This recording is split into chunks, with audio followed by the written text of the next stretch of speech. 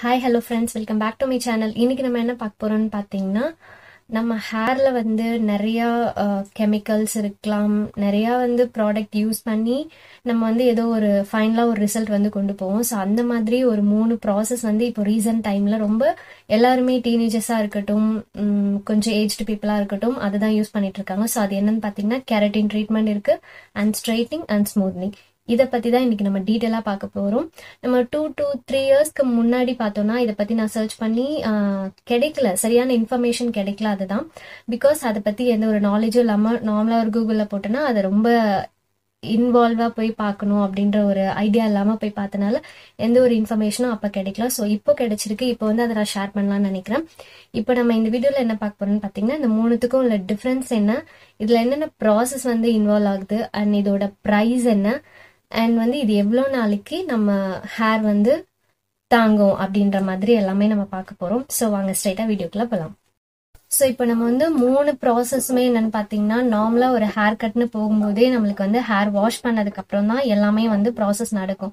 So அதே மாதிரி தான் இதுவும் கெரட்டின் ட்ரீட்மெண்ட்டாக இருக்கட்டும் அண்ட் ஹேர் ஸ்ட்ரைட்னிங்காக இருக்கட்டும் அல்ல ஸ்மூத்னிங்காக இருக்கட்டும்.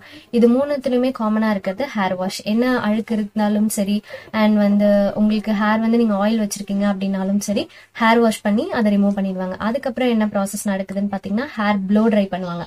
ப்ளோ ட்ரைனா உங்களுக்கு ஹேர் வந்து ஃபுல்லா வெட்ட வெட் இல்லாம ஈரம் இல்லாம அதை ஃபுல்லா ட்ரை பண்ணி எடுத்துருவாங்க.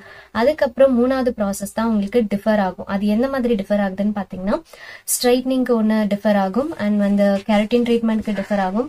ஸ்மூத்னிங்க்கு டிஃபர் ஆகும். அது எல்லாமே மூணுமே அததுக்கு ஏத்த மாதிரியே ஒரு சொல்யூஷன் போட்டு அப்ளை பண்ணிடுவாங்க. இதுதான் வந்து உங்களுக்கு மெயின் இப்போ கெரட்டின் ட்ரீட்மெண்ட் அப்படின்னா உங்களுக்கு கெரட்டின் வந்து உங்களுக்கு one of the best treatment அப்படின்னு சொல்லலாம் கெரட்டின் ட்ரீட்மெண்ட் எப்படின்னு பாத்தீங்கன்னா நம்மளுக்கு நெயிலுமே கெரட்டினால தான் ஆயிருக்கு. ஸோ ஹேர்லயுமே கெரட்டின் ஆல்ரெடி நேச்சுரலாவே இருக்கு. ஸோ அதனால என்ன பண்றாங்க அப்படின்னா ஒரு விட்டமின்ஸ் எல்லாம் கொடுத்து ஒரு சத்து கொடுக்குற மாதிரி கேரட்டின்ஸை வந்து ஒரு சொல்யூஷனா அப்ளை பண்ணி அதை வந்து ஹேர்ல போட்டுருவாங்க. அதுக்கப்புறம் ஹேரை வந்து சால்ஸ்ட்ரேட் பண்ணி முடிச்சிருவாங்க. இதுதான் வந்து கேரட்டின்ஸ் ட்ரீட்மெண்ட் ஸோ முடிக்கு ஆல்ரெடி இருக்கிற சத்தை விட இன்னும் கொஞ்சம் பூஸ்ட் பண்ற மாதிரி கொடுக்குறது தான் கெரட்டின் ட்ரீட்மெண்ட் ஸ்ட்ரைட்னர் எப்படி எப்படின்னு பாத்தீங்கன்னா ஸ்ட்ரெயிட்னிங் எப்படின்னு பண்றது பாத்தீங்கன்னா உங்க ஹேரையவே வந்து ரீபாண்ட் பண்ற மாதிரி நல்லா ஸ்ட்ரிஃபா வைக்கிற மாதிரி. ஸோ அதுக்கு ரொம்ப ஹார்ஷான கெமிக்கல் போட்டு ஃபார்முலேட் பண்ணி சால்ஸ்ட்ரேட் பண்ணுவாங்க ஹேரை ஸோ அது வந்து ரொம்ப ட்ரைனஸ் கொஞ்ச நாள்ல உங்களுக்கு ட்ரைனஸ் ஆக ஆரம்பிச்சிடும் அதே மாதிரி ஸ்மூத்னிங்கும் அதுக்கேற்ற மாதிரி ஒரு சொல்யூஷன் கொடுத்து அதையுமே ஹேரையும் சால்ஸ்ட்ரேட் பண்ணிடுவாங்க. ஸோ இது மூணு ப்ராசஸ்லயுமே கெரட்டின் ட்ரீட்மெண்ட் தான் ஒரு பேசிக் ஒரு லேயர் மாதிரி ஒரு ப்ரொடெக்ஷன் மாதிரி கெரட்டினை கொடுத்துட்டு அதுக்கப்புறம் சொல்யூஷனை போட்டு சால்ஸ்ட்ரேட் பண்றாங்க. ஸோ இது மூணுத்துலயும் வந்து keratin treatment is a best treatment first அந்த ப்ராசஸ்ல இந்த சொல்யூஷன்லாம் வந்து ஹேர்ல அப்ளை பண்ணதுக்கு அப்புறமா ஹேர் வந்து என்ன பண்ணுவாங்கன்னு பாத்தீங்கன்னா ஒரு ஃபிளாட் அயனிங் மிஷின் வச்சுட்டு நல்லா அயன் பண்ணிடுவாங்க ஹேரை ஸோ அது என்ன ஆகும்னு பாத்தீங்கன்னா நல்லா ஸ்ட்ரெயிட்டாவே ஸ்டிஃபா இருக்கிற மாதிரி இருக்கும். அது வந்து ஒரு த்ரீ டேஸ்க்கு நீங்க பன் மாதிரி ஒரு ரோல் பண்ணி கிளிப் போடுறதோ இல்ல வந்து பின்னல் போடுறதோ அந்த மாதிரி எல்லாம் பண்ண முடியாது. ஏன்னா அது பண்ணீங்கன்னா ஒரு மாதிரி வளைஞ்சு வளைஞ்சு ஆயிடும். ஸோ அது வந்து ஸ்ட்ரெயிட்டா ஆகாது. ஸோ அதனால த்ரீ டேஸ்க்கு வந்து இந்த மூணு ப்ராசஸ்லயுமே ஹேர் பண்ணும் ஹேர் போட்டு ஹேர் நல்லா ரோல் பண்ணி கிளிப் போடுறது பின்னல் பண்றது அண்ட் வந்து கிளச் கிளிப் போட்டு குத்துறது அதெல்லாம் எதுவுமே இருக்கக்கூடாது.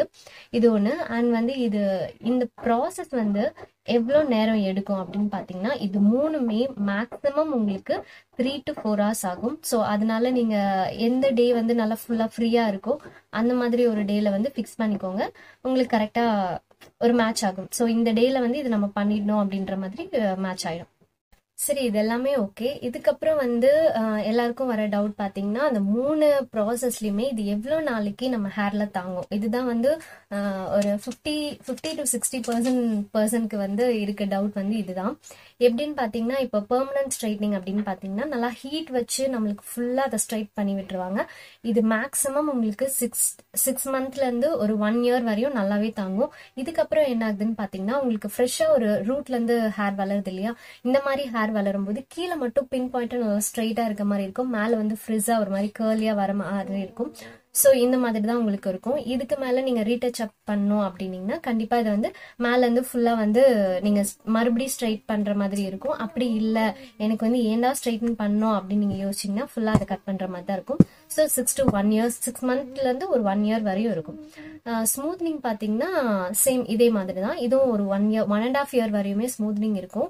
இது என்ன ஆகுதுன்னு பார்த்தீங்கன்னா ஸ்லோவாக ரொம்ப கொஞ்சம் கொஞ்சமாக ஸ்லோவாக வந்து நம்ம ஹேர் வந்து அந்த ஸ்மூத்னிங் வந்து போயிட்டு ஸ்மூத்னிங் வந்து போக ஆரம்பிக்கும். அந்த ஒன் இயர்க்கு அப்புறம் போக ஆரம்பிச்சுட்டு ரொம்ப அந்த ஃப்ரிஸ் ஆக ஆரம்பிக்கும். ஸோ அதுவும் ஒரு ஒன் இயர் இருக்கும்.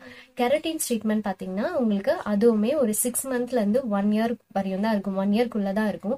இது என்ன ஆகுதுன்னு பார்த்தீங்கன்னா உங்களுக்கு அந்த போட்டிருக்க அந்த ஒரு கவர் மாதிரி நம்ம போட்டிருக்கோம் இல்லையா கெரட்டின் அது வந்து ஸ்லோ டவுன் ஆகி கொஞ்சம் கொஞ்சமாக அது வந்து ரிமூவ் ஆக ஆரம்பிக்கும். நல்லா நம்ம ஹேர் வாஷ் பண்ணிகிட்டே இருக்கோம் இல்லையா ஸோ அதனால அது கொஞ்சம் கொஞ்சமாக ரிமூவ் ஆக ஆரம்பிக்கும். இது மூணுத்துலேயுமே கெரட்டின் ட்ரீட்மெண்ட் வந்து உங்களுக்கு ரீடச்சப் பண்ணுறதுக்கு ஈஸி ஏன்னா உங்களுக்கு ஃபஸ்ட்டு நம்ம போகும்போது தான் ஃபஸ்ட்டு நம்ம ட்ரீட்மெண்ட்டுன்னு எடுக்கும்போது தான் ரொம்ப வந்து ஒரு பல்கான அமௌண்ட் வந்து கொடுத்து ட்ரீட்மெண்ட் எடுக்கிற மாதிரி இருக்கும். அதுக்கப்புறம் ரீடச்சப்னு போகும்போது கண்டிப்பாக அந்த கேரட்டின் ட்ரீட்மெண்ட்டில் ரொம்ப ஹெவியாக இருக்காது. ரீடச்சப் பண்ணி விட்டுருவாங்க. மறு மறுபடியும் உங்களுக்கு அதே கேரட்டின் ட்ரீட்மெண்ட் வந்து பண்ணி விடுவாங்க. ஸோ இந்த மாதிரி இருக்கும். எல்லாமே வந்து பார்த்தீங்கன்னா மேக்ஸிமம் ஒன் இயர் வரை இருக்கும். One year to one and half year வரையும் தான் இருக்கும். அதுக்குள்ளே நீங்கள் மறுபடியும் அது வேணும்னா ரீடச்சப் பண்ணிக்கலாம். அப்படி இல்லைன்னா ஹேர் வளர விட்டுட்டு கட் பண்ணுற மாதிரி தான் இருக்கும். இப்போ இவ்வளோ ட்ரீட்மெண்ட் நம்ம சொல்லியிருக்கோம் இவ்வளோ ப்ராசஸ் சொல்லியிருக்கோம். இதுல வந்து ரொம்ப கன்ஃபியூஸ் ஆகுறது என்னன்னா யாருக்கு எந்த ட்ரீட்மெண்ட் வந்து சூட் ஆகும் அப்படின்றது வந்து கரெக்டாக ஜட்ஜ் பண்ணி அவங்களால அனலைஸ் பண்ண முடியாது. அவங்களுக்கு இந்த கொஷின்ஸ் வந்து ரொம்ப யூஸ்ஃபுல்லா இருக்கும் அப்படின்றது நான் நினைக்கிறேன். என்னன்னு பார்த்தீங்கன்னா ரொம்ப வந்து ரொம்ப கேர்லியா ரொம்ப காயில் கேர்ள் மாதிரி இருக்கு இல்லையா? அவங்களுக்கு வந்து ஸ்ட்ரைட்னிங் தான் ரொம்ப பெஸ்ட் ஏன்னு பார்த்தீங்கன்னா உங்களுக்கு ஸ்மூத்னிங்கா இருக்கட்டும் கெரட்டினாக இருக்கட்டும் ரெண்டுத்துலேயுமே வந்து ரிசல்ட் அவ்வளோவா தெரியாது. ஸ்ட்ரைட்னிங் பண்ணீங்கன்னா ரொம்ப பெர்ஃபெக்டா இருக்கும். உங்களுக்கு ரொம்ப கேர்லியோ காயில் கேர்ள் ரொம்ப இதுவா இருக்கும் இல்லையா? அவங்களுக்காக. இல்ல எனக்கு ஓரளவுக்கு வேவியா இருக்கு நார்மலா தான் இருக்கு அப்படின்றவங்களுக்கு ஸ்மூத்னிங் வந்து ரொம்ப பெர்ஃபெக்டா இருக்கும். ஏன்னு பாத்தீங்கன்னா ஸ்மூத்னிங் வந்து உங்களுக்கு நேச்சுரலா இருக்க மாதிரி தெரிஞ்சிடும் ரொம்ப கொஞ்சம் கேர்ள் ரொம்ப கேர்ள் இல்லாம லைட்டா வேவியா இருக்கு அவ்வளவுதான் அப்படின்ற மாதிரி இருந்ததுன்னா உங்களுக்கு அந்த ஸ்மூத்னிங் பண்ணும்போது நேச்சுரல் ஹேர் மாதிரியே இருக்கும். எந்த ஒரு ட்ரீட்மெண்ட் பண்ற மாதிரியே இருக்காது நார்மலா இருக்கும். இதுவே கேரட்டின் யார் பண்ணலாம் அப்படின்னா எனக்கு ரொம்ப டென்சிட்டி கம்மியா இருக்கு ரொம்ப கொ- ஆஹ் இவ்வளவுதான் இருக்கு முடிய விரிச்சு போட்டா எனக்கு இவ்வளவுதான் இருக்கு இங்கதான் இருக்கு டென்சிட்டி இல்ல ஹேர் ஃபால் ஹெவியா இருக்கு அப்படின்றவங்க கண்டிப்பா நீங்க கேரட்டின் காசு போனாலும் பரவாயில்லன்னு சொல்லிட்டு கேரட்டின் ட்ரீட்மெண்ட் தான் நீங்க பண்ணி ஆகணும். ஸோ அதில் தான் உங்களுக்கான ரிசல்ட் வந்து அதில் தான் தெரியும். ஸோ இந்த மூணு ஹேர் ஸ்ட்ரக்சருக்குமே ஒரு ஒருத்தங்களுக்கு ஒரு ஒரு மாதிரி ட்ரீட்மெண்ட் வந்து செட் ஆகுது. இப்போ இதோட ப்ரைஸ் வந்து என்னன்னு பார்த்தீங்கன்னா ஸ்ட்ரைட்னிங் பார்த்தீங்கன்னா உங்களுக்கு ஹேர் வந்து இருக்கிற லென்த் பொறுத்து தான் சொல்லுவாங்க. இப்போ லென்த் வந்து இவ்வளோதான் இருக்குது அப்படின்னு பார்த்தீங்கன்னா ஸ்ட்ரைட்னிங் வந்து ஒரு ஃபோர் டு ஃபைவ் அவ்வளோதான் வரும். இல்லை நீங்கள் நீங்களே ஜட்ஜ் பண்ணிக்கோங்க. கொஞ்சம் ஒரு இன்ச் வந்து கீழே இருக்குது அப்படின்னா இவ்வளோ வரையும் நான் சொல்கிறேன் இவ்வளோ ஹேர் இருக்குது அப்படின்னா four to five thousand straightening வரும்.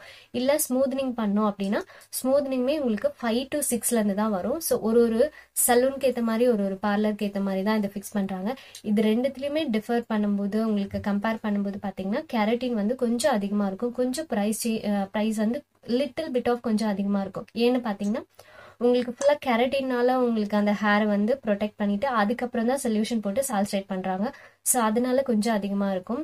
உங்களுக்கு அது பார்த்தீங்கன்னா ஒரு seven to eight or six to seven இந்த மாதிரி ரேஞ்சில் தான் வரும். இல்லை உங்களுக்கு நல்லா லாங்காக இருக்குது அப்படின்னு பார்த்தீங்கன்னா கண்டிப்பாக அது ஒரு டுவெல் கிட்ட வந்துடும் ஸோ இந்த மாதிரி தான் ப்ரைஸ் வந்து சேஞ்ச் ஆகிட்டே இருக்கும். டிஃபர் ஆகும். ஸோ ஒரு சலூனுக்கு ஏற்ற மாதிரி தான் டிஃபர் ஆகும்.